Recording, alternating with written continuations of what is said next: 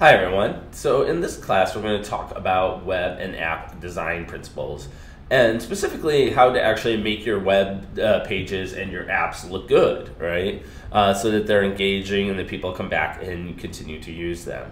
So what is web design? Uh, web design is really the process of creating all the visual aspects of the interface, the layout, the colors, the images, the logos, uh, the particular type and font that you're using, right, and the design elements, the the real the aspects that make it a pleasant place to be to a large extent, right. Um, and the first thing you need to think about when you're creating your website or your app is how to create a visual identity. And the basic idea behind this is that you really want to put together a digital style guide that could really kind of des- describe what all the different consistent aspects of your web are going to look like. Almost all uh, companies or organizations over a certain size have such a digital style guide. Um, in fact, um, many of them make them publicly available, some of the larger ones, so that even people who aren't directly responsible uh, for putting up content can, in fact, see what they are and use them in their own presentations or use them in small websites, uh, their own apps, etc. So, for instance, NC State has its own uh, digital style guide that you can access. I just Googled, you know, NCSU digital style guide, and one of the first things that came up was this page uh, that talks about all the different uh, brand rules and guidelines that they have. And they'll have examples of logos you can put up there, um, what exact color numbers to use, things like that. What this does is it helps create a consistent visual identity for the university uh, such that the experience is similar and engaging no matter where you are on the university website. There are three main uh, design goals to consider when designing your web and your app. Um, first is, uh, you know, in general, is to put your strategic content, your most important content, in, in the, the, the place that's going to be most visited by the users.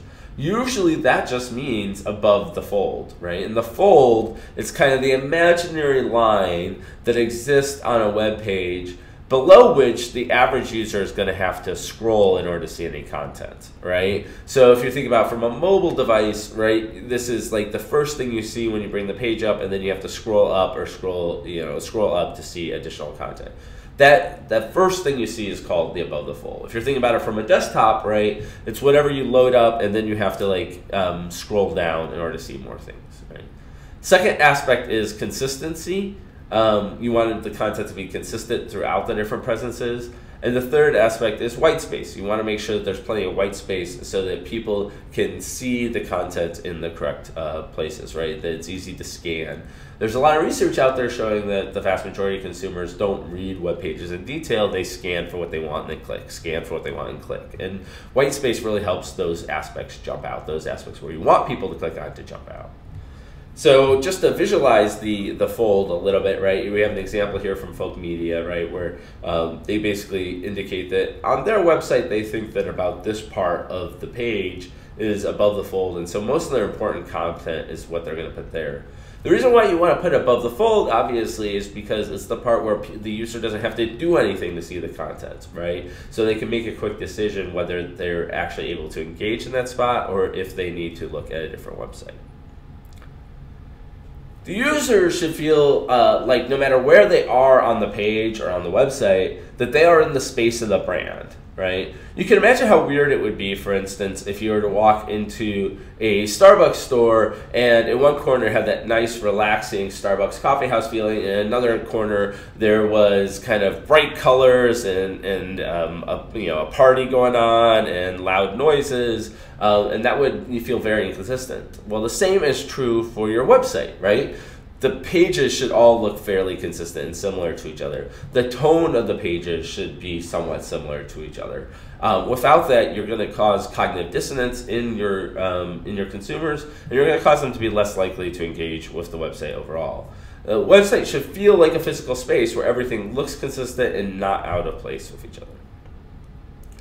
So I think CNN, for instance, does a great example of illustrating the white space guideline, right? Uh, so they this is a headline from a couple days ago, or the page from a couple days ago, when uh, they were looking at all the different uh, claims about Trump and uh, the uh, uh, Comey's testimony, right? And as you can see, right, there's definitely gaps in between all these articles. It allows kind of the headlines to really stick out right? Um, and there's really kind of a clear, obvious place as to where you could click. If that white space wasn't there, right, these things would kind of run together and they wouldn't stick out as much, right? And even though many of these are very similar to each other, for instance, there's a headline here about Rockefeller dying, very different than the rest.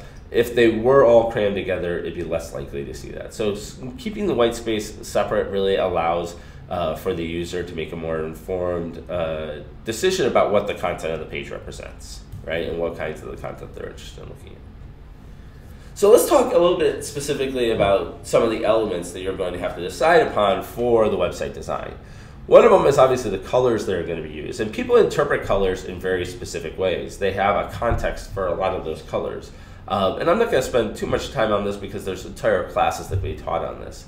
But those colors also have brand connotations, right? So black and green, to go back to the Starbucks example, is the colors of the scheme that they often use. And part of the reason why is because they want to promote this idea of a relaxed environment, a toned down environment, right? Uh, where people can kind of sit down and have a cup of coffee and maybe talk to their friends and, and things like that. Dunkin' Donuts, you know, on the other hand, uses a very different color scheme. They use pink and orange, right? And their motto is, you know, the U.S. runs on Dunkin', on, on Dunkin', right? And the idea is right? That they really get you active and energized. And that's really what their motto is about. They want someone coming in, grabbing a cup of coffee, and leaving. They don't need like them to linger. They don't need them for to sit around, right? And pink and orange kind of highlight those attributes more than the black and green of Starbucks does, right? Um, and so you need to keep those kind of connotations in mind as you're working through it. Uh, there are also some standard associations people have with different colors, right? So red, for instance, is often associated with warnings or errors, and so you can use that to your benefit, right? Like if someone fails to fill out a form right, often the incorrect aspect is highlighted in red, right? Green is often a good indication that they did it correctly or that this should be a next step. So buttons to go on to the next step might be examples that you see in green, right? Blue is often used to indicate a link, uh, but many now change that default, right? That has evolved over time. Now often it's just a color that contrasts with whatever the background color is. So for instance, in the NC State examples that I used here and in the UX class, um, lecture, right, they use red to highlight it, right? And that works fine because all the other text is in black and white and the red kind of sticks out. Moreover, it doesn't really fall into this problem of conflating with warnings and errors because NC State's one of NC State's brand colors is red, and so they're able to use that to their benefit in that experience.